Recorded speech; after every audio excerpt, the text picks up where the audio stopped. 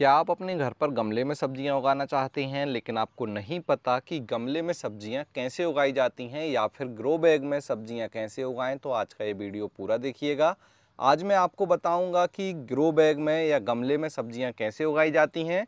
इसके लिए आपको क्या क्या चीज़ों की ज़रूरत होगी और आप गमले में सब्ज़ियाँ उगाने के लिए क्या क्या चीज़ों को इस्तेमाल करें, किस तरह करें और क्या क्या सावधानी रखें ताकि आपको आगे चल के उस गमले से ढेर सारी सब्ज़ियाँ तोड़ने को मिले। नमस्कार दोस्तों, मेरा नाम है दीपक और आप देख रहे हैं terrace and gardening YouTube channel यदि आप पहली बार मेरे चैनल पे आए हैं तो चैनल को सब्सक्राइब कर लें और बेल आइकन को भी प्रेस कर दें, ताकि मैं जब भी इस तरह का वीडियो अपलोड करूँ, उसका नोटिफिकेशन आपको सबसे पहले मिल जाए। ये मेरा टेरेस गार्डन है और यहाँ पर मैंने सारे जो ग्रो बैग हैं, उसमें सब्ज़ियाँ लगाई हुई हैं और यहाँ से मुझे ढेर सारी सब्ज़ियाँ तोड़ने को मिलती हैं।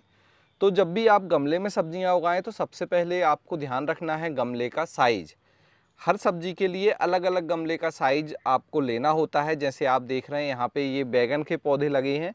तो यहाँ पे जो मैंने गमला ग्रो बैग इस्तेमाल किया है, वो 12 बाई 12 इंच का ग्रो बैग इस्तेमाल किया है। ये जो आप सामने देख रहे हैं, ये एच ग्रो बैग है, जो 12 बाई 12 इंच का है। ये आपको मिल जाएगा वेबसाइट ऑर्गेनिक बाज़ार पर। ये बहुत अच्छा ग्रो बैग है इस तरह से बैगन के पौधे लगाने के लिए। लेकिन अगर इसी जगह आप कोई लौकी का पौधा लगा रहे हैं या फिर करेले के पौधे लगा रहे हैं तो इनके लिए फिर आपको क्या करना है? बड़े साइज़ के ग्रो बैग लेना है। जैसे कि मैं आपको दिखा देता हूँ। यहाँ पे आप देख रहे हैं तो देखिए ये 24 बाई 24 इंच का ग्रो बैग लिया है मैंने लौकी लगाने के लिए। और इस तरफ़ अगर मैं आपको दिखाऊँ तो ये लिया है मैंने 24 बाई 18 इंच। अठारह बाई चौबीस इंच का ग्रो बैग अठारह बाई अठारह इंच भी आप ले सकते हैं। यहाँ पे मैंने लगाए हैं इस तरह से करेले। तो ये देख रहे हैं आप, करेले लगे हुए हैं। तो जब भी आप अपने होम गार्डन में सब्ज़ियाँ लगाएँ या गमले में सब्ज़ी उगाएँ तो आपको सब्ज़ी के पौधे के प्रकार के हिसाब से ही ग्रो बैग या गमला लेना है। जो सब्ज़ी बड़े गमले में लगेगी, उसे आपको छोटे गमले में नहीं लगाना है, वरना आपको सही रिज़ल्ट नहीं मिलेगा। इसके बाद आपने ग्रो बैग सेलेक्ट कर लिया। अब बात आती है कि इस ग्रो बैग में भरने के लिए आपको मिट्टी बहुत अच्छी बनानी है, क्योंकि जब भी हम गमले में सब्ज़ियाँ उगाते हैं तो इसमें हम नॉर्मल जो हमारी मिट्टी होती है, जिसे हम गार्डन सॉयल भी कहते हैं, या सादी मिट्टी होती है, जो बिल्कुल नॉर्मल मिट्टी है, उसका इस्तेमाल नहीं करते, क्योंकि उसमें क्या होता है, उसकी वाटर ड्रेनेज सिस्टम सही नहीं होता और उसमें न्यूट्रिशन भी बहुत कम होते हैं। ये दो जो समस्याएँ हैं, वो फिर हमें जब हम गमले में उस मिट्टी को भरते हैं तो बहुत ज़्यादा आती हैं। आप गमले में पानी देंगे तो आप देखेंगे कि पानी ऊपर भरा रहेगा, नीचे नहीं जाएगा ड्रेन होल से बाहर नहीं निकलेगा और जिस भी पौधे को उसमें लगा देंगे तो मिट्टी एकदम से कड़क हो जाएगी और पौधा उसमें नहीं बढ़ेगा। तो इन दोनों चीज़ों को दूर करने के लिए आपको मिट्टी बनाते समय उसमें ज़्यादा से ज़्यादा मात्रा में गोबर की खाद या फिर बर्मी कंपोस्ट मिलाना है। आप ये देख सकते हैं हमारी मिट्टी है और इस मिट्टी में ढेर सारे केंचुए भी होते हैं, क्योंकि इसमें हम बर्मी कंपोस्ट बहुत मिलाते हैं। अगर आप पहली बार जो है मिट्टी बना रहे हैं और गमले में सब्ज़ियाँ उगाना चाहते हैं तो गमले की मिट्टी बना रहे हैं तो इसके लिए आपको मैं कुछ एक स्पेशल रेशियो बता देता हूँ, जिसकी मदद से आप जो है गमले की मिट्टी बना सकते हैं। इसके लिए आपको लेना है 30 परसेंट नॉर्मल मिट्टी 30 परसेंट कोई भी खाद ले लीजिए गोबर की खाद या बर्मी कंपोस्ट। 30 परसेंट आपको मिलानी है उसमें कोकोपीट। अब हम कोकोपीट क्यों मिलाते हैं? कोकोपीट बहुत ही एक पोरस मीडियम बनाता है हमारी मिट्टी को। वो मिट्टी में क्या होगा? उसे आ, कह सकते हैं कि टाइट नहीं होने देगा। उसमें प्रॉपर वाटर ड्रेनेज सिस्टम बनाएगा मतलब पानी अच्छे से बाहर आ जाएगा। अगर एक्स्ट्रा पानी आपने दे दिया और मॉइस्चर को मेंटेन रखेगा क्योंकि गमले में थोड़ी सी मिट्टी होती है और अगर गर्मियों के दिन है या दूसरा समय है तो बहुत जल्दी वो सूखेगी। तो इसलिए हम कोकोपीट मिलाते हैं और बाकी 10 परसेंट में आप नीम, खली बोन मील मस्टर्ड केक इस तरह के जो ऑर्गेनिक खाद होते हैं वो मिला दीजिए। ये जो मिट्टी है वो सभी तरह के पौधों के लिए अच्छी है। आप सब्जियों वाले पौधे लगाएँ, फल वाले पौधे लगाएँ, फूलों वाले पौधे लगाएँ, उनके लिए ये मिट्टी बहुत अच्छी है। इसका डिटेल वीडियो मैंने पब्लिश किया है कि कैसे आप बेकार से बेकार मिट्टी को भी बहुत अच्छी उपजाऊ मिट्टी में बदल सकते हैं। आप वह वीडियो देख लीजिए, आप डिटेल में समझ जाएँगे कि गमले की मिट्टी कैसे बनाई जाती है। दो चीज़ों पे हमने डिस्कस कर लिया, पहले तो ग्रो बैग या गमले का साइज़ और दूसरा मिट्टी। अब तीसरी इम्पोर्टेंट चीज़ आती है, जब भी आप गमले में सब्ज़ियाँ उगाएँगे, उन सब्ज़ी के बीज या पौधे तो मैं ज़्यादातर जो सब्ज़ियाँ उगाता हूँ, वो बीज से ही उगाता हूँ मतलब सीधे ही बीज में लगाता हूँ। अब जो हम बीज लगाएँगे, वो अच्छे क्वालिटी के होने चाहिए। जैसे आप सामने देख रहे हैं तो ये लाल भाजी लगी हुई है। यहाँ आप देख रहे हैं तो ये पालक लगी हुई है। इस तरफ़ आप देख रहे हैं तो यहाँ पे ये भिंडी लगी हुई है और भिंडी में आप भिंडी देख लीजिए। तो ये जो अच्छा रिज़ल्ट मुझे मिला, इतनी अच्छी मुझे पालक, भिंडी और ये सारी चीज़ें मिली इसके पीछे का राज है अच्छे क्वालिटी के बीज। यहाँ पे मेरी लौकी लगी हुई है तो ये लौकी देख लीजिए, ये देखिए कितनी बड़ी लौकी। यहाँ से आप देखिए, पूरी लगभग डेढ़ दो फिट की लौकी हो गई है। यहाँ पे एक गोल लौकी लगी हुई है सामने। तो बीज अच्छे इस्तेमाल करेंगे तो आपको रिज़ल्ट भी अच्छा मिलेगा। पहले के समय में आपको, आपने कहावत सुनी होगी कि जैसा बीज बोओगे, वैसा फल पाओगे। तो हमें क्या करना है? बीज बहुत अच्छे क्वालिटी का इस्तेमाल करना है। अब क्या होता है कि जो किसान होते हैं, उनके लिए बहुत सारी कंपनीज़ हैं जो बड़ी पैकिंग में खेत में लगाने के हिसाब से बीज उपलब्ध करा देती हैं। लेकिन जब आप होम गार्डनिंग करते हैं या किचन गार्डनिंग करते हैं तो आपको थोड़ी मात्रा में बीज की ज़रूरत होती है। जैसे आपको भिंडी लगानी है तो भिंडी के आपको 25-30 बीज की ज़रूरत है। अब इतनी छोटी पैकिंग में अच्छे क्वालिटी के बीज आसानी से नहीं मिलते। अगर आप लोकल मार्केट में जाएँगे तो क्या करते हैं, जो सीड शॉप वाले होते हैं, वो सबसे सस्ता वाला जो पैकेट होता है, वो खोल लेते हैं। तो इस चीज़ को आपकी ये जो प्रॉब्लम है, ये दूर हो जाएगी। आप ये सारे बीज ऑनलाइन ख़रीद सकते हैं। ऑनलाइन ये बीज आपको मिल जाएँगे website organic bazaar dot net पर। सेम क्वालिटी के सेम बीज मिलेंगे, ताकि आपको सेम रिज़ल्ट मिले। यहाँ पर आपको स्पेशली किचन गार्डनिंग पैकिंग में छोटे छोटे सीड पैकेट मिल जाएँगे, जिनको खरीद कर आप उन बीज को अपने गमले या ग्रो बैग में लगा सकते हैं और फिर मेरी तरह रिज़ल्ट पा सकते हैं। मैंने उन्हीं बीजों का इस्तेमाल किया है। तो वहाँ से आप बीज ले लीजिए। बीज को लेने, लेते समय दो चीज़ों का ध्यान रखें। एक तो आप कितनी क्वांटिटी में पौधे उगाना चाहते हैं और दूसरा उन्हें उगाने का सही मौसम।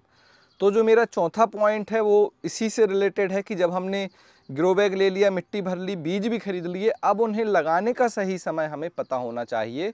अगर हमने गमले में जो बीज हैं, वो सही समय पर नहीं लगाए मतलब कि सही मौसम में नहीं लगाए तो फिर हमें सही रिज़ल्ट नहीं मिलेगा। अब आप सोच रहे होंगे कि ऐसा कैसे? तो देखिए, जैसे आप ये सामने भिंडी देख रहे हैं, अब भिंडी जो होती है वो गर्मियों में होती है और बारिश के समय में होती है और सर्दियों में नहीं होती। तो अगर आप भिंडी के बीज सर्दियों में लगाएँगे नवंबर, दिसंबर में तो उसमें आपको इस तरह से भिंडी नहीं मिलेगी। बीज भले ही आप यही ले लें, मिट्टी भी अच्छी बनाएँ, ग्रो बैग भी सही साइज़ का लें, लेकिन आपने समय सही नहीं चुना, गलत समय पर लगा देने से हमें वह रिज़ल्ट नहीं मिला। तो हमेशा ध्यान रखें सब्जियों वाले पौधों को अगर आप गमले में उगाना चाहते हैं तो आपको सही समय पर उन्हें लगाना होगा, ताकि आपको सही रिज़ल्ट मिले। किस समय उन्हें लगाना है, ये जानकारी भी आपको ऑर्गेनिक बाज़ार डॉट नेट वेबसाइट में जब आप बीज खरीदने के लिए जाएँगे तो प्रोडक्ट पेज पर मिल जाएगी, वहाँ देख लीजिए। चौथी चीज़ हो गई, अब हमारा पांचवा काम आता है, जब बीज लगाने के बाद बीज से पौधे उग जाएँ मतलब कि जब पौधे थोड़े छोटे छोटे रहें वहाँ से हमें इनकी केयर करना शुरू कर देना है। जैसे आप देख रहे हैं, ये लाल भाजी बहुत ही अच्छी है। इस समय अब क्या है, जैसे पौधे हम लगा लेते हैं उनसे पौधे बढ़ना शुरू हो जाते हैं तो इन्हें एक तो प्रॉपर धूप मिलनी चाहिए। पौधों को सबसे ज़्यादा ज़रूरी कोई चीज़ है तो वह है धूप। धूप के बिना पौधे नहीं बढ़ सकते, इस चीज़ को हमेशा ध्यान रखें। क्या होता है, जब हम किचन गार्डनिंग करते हैं या होम गार्डन में जब पौधे लगाते हैं तो हम हमेशा खाद और मिट्टी पर ध्यान देते हैं बीज पर धूप पर ध्यान नहीं देते। तो आपको धूप पर भी ध्यान देना है। हमेशा एक चीज़ का आ, हमेशा इस चीज़ को अपने ध्यान में रखें कि पौधों को बड़े होने के लिए धूप की ज़रूरत होती है। जैसे आप देख रहे हैं ये बारह मासी करेला मैंने लगाया है। और जैसे ही इसके पौधे अब देखिए उग आए हैं और ये अब बेल बनने लगी है तो यहाँ पे प्रॉपर धूप आनी चाहिए।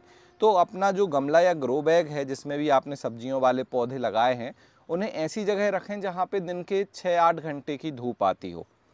ग्रो बैग में सब्ज़ियाँ लगाने का फ़ायदा एक ये भी है कि आप ग्रो बैग को धूप के अकॉर्डिंग इधर उधर शिफ्ट कर सकते हैं। मतलब अगर कहीं धूप कम आ रही है तो किसी दूसरे कोने में आप इन्हें ले जा सकते हैं। ये भी एक फ़ायदा है।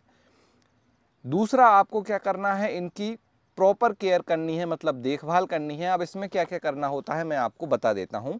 सबसे पहले तो जब पौधे थोड़े से बड़े होने लगें तो आपको जो गमले की मिट्टी है, इसकी गुड़ाई करनी है। गुड़ाई में क्या होता है, इसी मिट्टी को इस तरह से थोड़ा सा ढीला कर दिया जाता है। किसी भी आप गार्डन गार्डन टूल्स की मदद से आप कर दीजिए, या इस तरह से हल्की मिट्टी है तो हाथ से भी कर सकते हैं। फिर आपको क्या करना है, इन पौधों में हर पंद्रह से बीस दिन में खाद देनी है। अब जब हमने मिट्टी बनाई थी, तब हमने ढेर सारा कंपोस्ट खाद मिलाया था। अब आप क्या कर सकते हैं, इसमें लिक्विड खाद दे सकते हैं, कंपोस्ट ही बना कर दे सकते हैं। अलग अलग के ऑर्गेनिक खाद आते हैं, सरसों की खली की खाद आप दे सकते हैं। और सबसे नॉर्मल, सबसे कॉमन खाद बर्मी कंपोस्ट आप दे सकते हैं। बर्मी कंपोस्ट बहुत अच्छी खाद होती है, इस तरह से ये होगा, देखिए। चाय पत्ती के दानों के जैसा ये होता है, ये देखिए यहाँ पर है। तो बर्मी कंपोस्ट खाद को हर लगभग 15 से 20 दिन में इस्तेमाल करें। अगर आपने इस तरह से बेल वाले पौधे लगाए हैं तो इनके लिए आप इस तरह से क्रीपर नेट बना लें। और जो छोटे पौधे हैं, बैगन के हैं या दूसरे पौधे हैं तो उनको आप क्या करें, किसी लकड़ी का सहारा दे दें। जब आप लकड़ी का सहारा दे देंगे तो फिर ये जो पौधा है, वो गिरेगा नहीं, उसकी स्टेम नहीं टूटेगी। देखिए, ये लकड़ी हमने लगा रखी है। इसके बाद इनमें फूल आएँगे। जब फूल आने लगें तो समय समय पर पानी दीजिए, खाद दीजिए। अगर किसी पौधे में पॉलिनेशन की ज़रूरत है तो पॉलिनेशन कीजिए। आपको अपने इन्हीं पौधों से जो आपने गमले में लगाए हैं, ढेर सारे जो है सब्ज़ियाँ तोड़ने को मिलेंगी। आप देख सकते हैं, सामने ये लगे हुए हैं बैगन और यहाँ पे आप देख लीजिए तो यहाँ पे गवार फली लगी हुई है और यहाँ पे आप देख सकते हैं तो हमारे काले वाले बैगन लगे हैं। इसी तरह से ढेर सारी सब्ज़ियाँ जो हैं मैंने मेरे छत पर बने गार्डन में ग्रो बैग में। गमले तो मैं इस्तेमाल नहीं करता हूँ, ग्रो बैग में जो है मैंने लगाई हुई हैं और फिर इनसे मुझे ढेर सारा रिज़ल्ट मिला हुआ है। तो ये थे कुछ खास पॉइंट्स जिनकी मदद से आप भी गमले में सब्ज़ी लगा सकते हैं और फिर उन सब्जियों वाले पौधों से ढेर सारी सब्ज़ी को तोड़ सकते हैं। इन पॉइंट्स को जानने के बाद आप समझ गए होंगे कि गमले में सब्ज़ी उगाना कितना आसान है। बस आपको सही तरीका इस्तेमाल करना है। आपके गार्डन में भी गमले में ऐसे ही सब्ज़ियाँ लगेंगी जो मेरे गार्डन में लगती हैं। वीडियो कैसा लगा मुझे ज़रूर बताएँ। वीडियो अच्छा लगा हो तो इसे लाइक करें, इसे शेयर करें। चैनल को सब्सक्राइब कर लें ताकि इसी तरह की जब भी वीडियो पब्लिश हो, उसका नोटिफिकेशन आपको मिल जाए। आज के वीडियो में इतना ही। मिलते हैं आपसे किसी अगले वीडियो में। तब तक के लिए हैप्पी गार्डनिंग।